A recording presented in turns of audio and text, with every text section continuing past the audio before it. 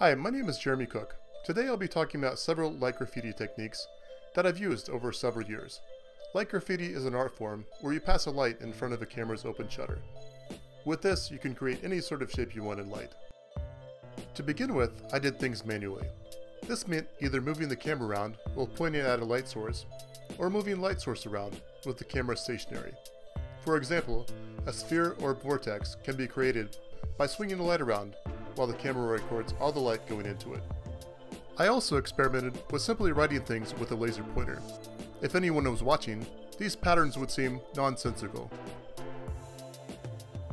As cool as that was, I had some other really neat tools at my disposal. One of my coolest toys was a small quadcopter. I decided to take a long exposure photograph of it, streaking around my yard with a sparkler attached. As seen in the pictures, the results were really incredible. Not content with those results, I decided to automate my light graffiti process even more with something called a pyMCU.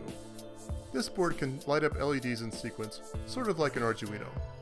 After some image processing, I was able to make a fixture that allowed me to make an image by pulling the LEDs along at a steady rate. The LEDs would blink in sequence, spelling out or drawing whatever I had in mind.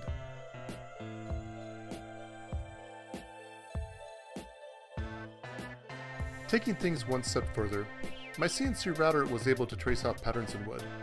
Why couldn't it do the same with light? After some experimentation and a custom LED fixture, I had something that could trace patterns out automatically. Results were a little rough at first, but after figuring out the technique, things became quite a bit sharper.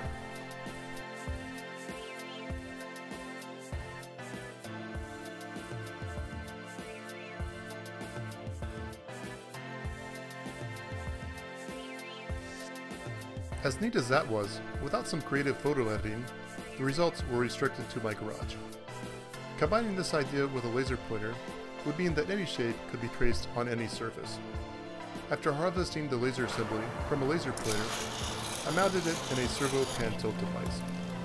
After some programming work, I had a machine that could trace out a very rough circle. Circles are interesting, but a shape or picture would be even better. Taking some of the techniques I learned with the LED image device seen earlier, I programmed the servos to place a dot where a pixel would be on a very simple image. Resolution wasn't great, but I was able to create some interesting and very simple shapes with long exposure photography. These images look neat after a long exposure photo is taken, but don't really make sense in person. To make an interesting display, I purchased something called a Glow Crazy toy. This toy features a background that glows for a short time when light is shined on it. To help fill in the gaps between pixels, I set up the servos to make X's instead of just dots. With these simple changes, I had an automatic light graffiti machine that could be seen not just on camera, but in real life. It made for an interesting Maker Faire display.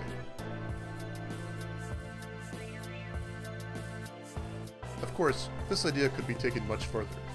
For example, buildings could be decorated this way.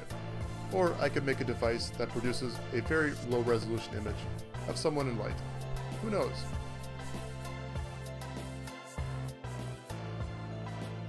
I hope you enjoyed this overview of my light graffiti experiments. If you're curious as to what I'll come up with next, be sure to subscribe or follow on Twitter at Jeremy S. Cook. Thanks for watching.